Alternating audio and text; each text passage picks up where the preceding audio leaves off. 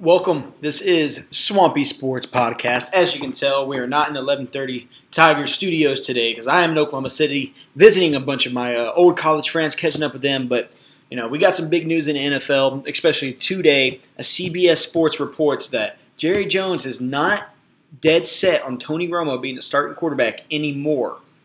I guess after seeing that great performance that Dak Prescott had uh, against the Packers in Green Bay, I guess it finally changed his mind. That did, which uh, a crazy performance for just the Cowboys in general as they go into Lambeau and take down Aaron Rodgers and the Packers, thirty to sixteen.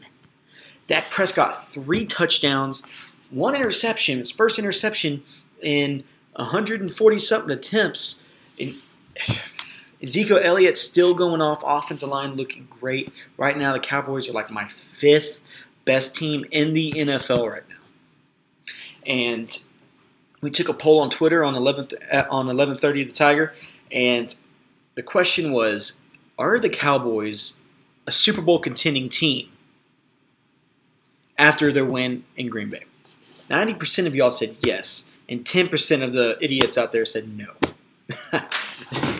just if you just it's just this offensive line is finally clicking now. And with that being with when you have an offensive line that clicks and a defense that can make stops, and how Morris Claiborne is actually playing decently well now. He can't tackle worth a crap, but his coverages are decent. They're great. That secondary is doing great. Sean Lee still not injured. Their only question mark is their defensive line. And so with this you know, Tony Romo, when he's healthy, he's great. He's he's a great quarterback, but he never can stay healthy. And they've never had a quarterback that can hold down four. And now they have him in rookie, hot and zone, Dak Prescott.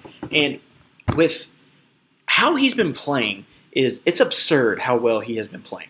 Prescott, he went 18 for 27, 247 yards, and three touchdowns against that Packer defense.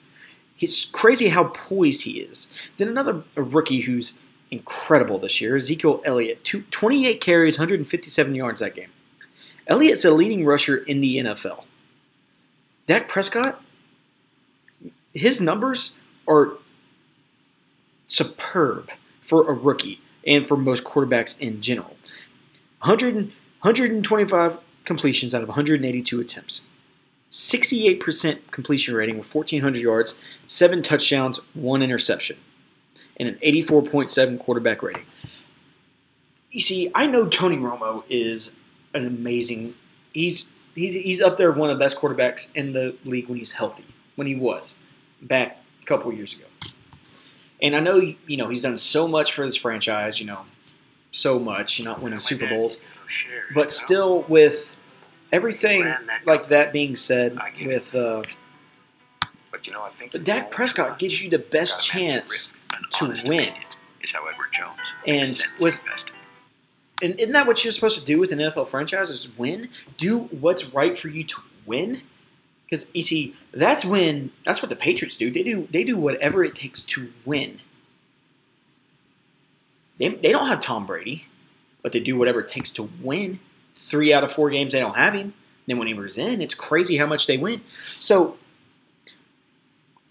with Dak Prescott leading that offense, being an, an, an, incredible game manager, and not turning the ball over, how do you how do you go to that to Tony Romo, who, you know, yes, I guess you could say he's earned his starting position, but with Dak's performance, don't you think he deserves a chance to earn that starting position? You know, when I hear people talking about this, and I, I, hear both sides, I hear people, you know, the very biased Dak Prescott fans from around the Shreveport area here saying Dak Prescott needs to play. Yes, he's he's doing great. Then you also got to hear from the people who support Romo, because Romo is a veteran. Romo has been there before. Prescott looks like he's been there before, but he really hasn't. Just you know, he went up against the Green Bay defense and it did great. He did phenomenal.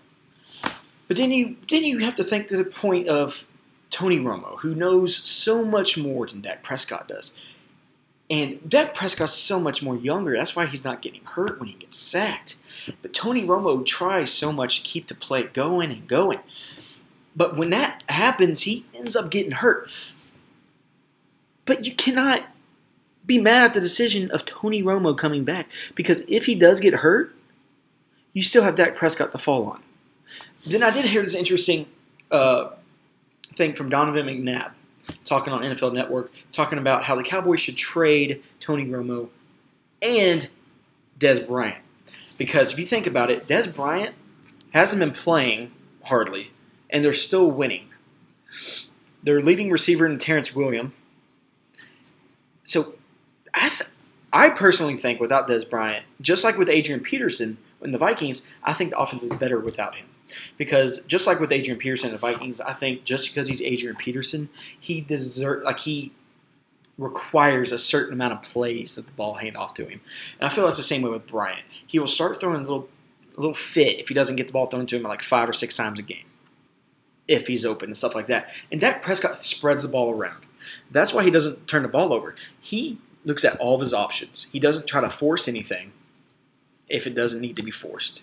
And that's why he only has one interception through the first eight games, seven games, six games, whatever it is. So I think that this is a great opportunity for the Cowboys to be like a Bill Belichick, for Jason Garrett to be like Bill Belichick. Because isn't that what the standard is in the NFL right now? Bill Belichick. Isn't that what you want to thrive to be like? Have your team like the Patriots, constantly winning, always in the playoffs? And you could do that.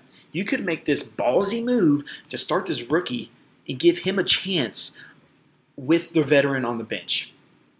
You know, this is this is the, the National Football League. This isn't, you know, B par where everyone, you know, deserves a chance. Yes, because Dak Prescott got his chance, but he didn't just get put into the game because he had to be put in. He found he took advantage of his opportunity, and look what he's doing. So with Tony Romo coming back, I think that I personally think Dak Prescott should be a starter, because just solely on the base because they're winning, and, and he's spreading the ball out enough to where they open up the running game for Ezekiel Elliott to just kill it like he's doing right now. So I think the Cowboys need to hurry up and make a decision before Romo even comes back. They just need to go ahead and say, get this all over with. Because Prescott seems poised, but you know he pays attention to the media. And the media sure does pay attention to him. And they are praising him so much for turning down free Kanye West tickets to catch more sleep and to turn down a bunch, a bunch of endorsement deals for this week's uh, bye week because he wants to go home and spend time with his grandmother. And that's that's a that's the type of person you want leading your football team. You want someone who is dedicated to football caring about other people. You don't want someone like a, you know, someone who goes and does endorsements whenever they could be, you know, endorsements aren't bad. You know, making money, good. Go ahead and make more. I don't care. But what I was really impressed was the free Kanye West tickets. So, because he had practice the next morning, he wanted to get extra sleep. That's the type of player you want leading your football team. And I just see so much in Dak Prescott already that I think he's going to be an incredible football player in the next 10 years. And the Cowboys cannot let that go. I think it's Dak Prescott because Dak Prescott has said that this is Tony's team. So he he already has in his head that when Romo comes back that he's going to be on the bench. And again, I don't see a problem with that either. But if I'm a Cowboy fan, just know the security blanket you have behind Romo is there, and that y'all, no matter who's that quarterback for y'all, I think if Romo is that quarterback, y'all are still a Super Bowl contending team, just the way this team is playing this year. So that's that's my rant about this whole Cowboy situation. So I'm I'm so happy for Dak how well he's doing because I love seeing people from this area succeed in anything that they do.